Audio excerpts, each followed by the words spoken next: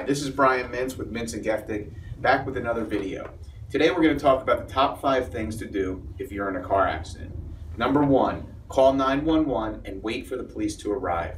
Obviously, it's important that emergency medical care be available as soon as possible.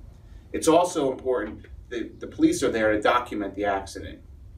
Number two, get the other driver's name, address, insurance information, including the insurance company, policyholder uh, number, make and model of the car, and jot down the license plate number.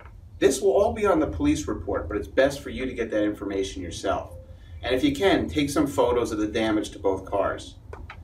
Number three, give a careful and accurate statement to the police. You'll be frazzled, you'll be in shock, pain may be setting in, but try your best to give an accurate account of what had happened. Number four, don't refuse medical treatment. Everyone's in a rush to get somewhere. Everyone wants to be tough.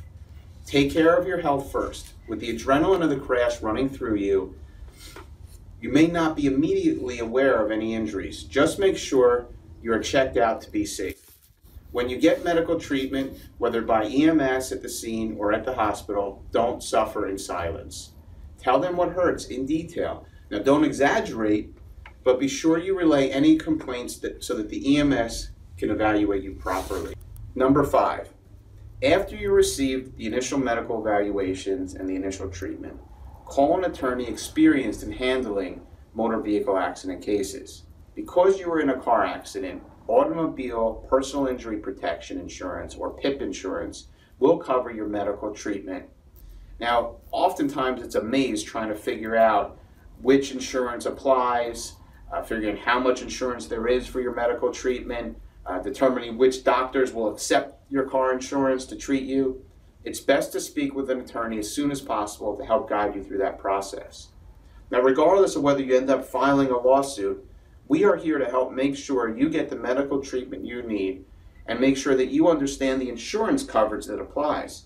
So if you or a loved one has been in an accident, call us at 908 352 2323 or visit us on the web www.mglawfirm.net. Thank you.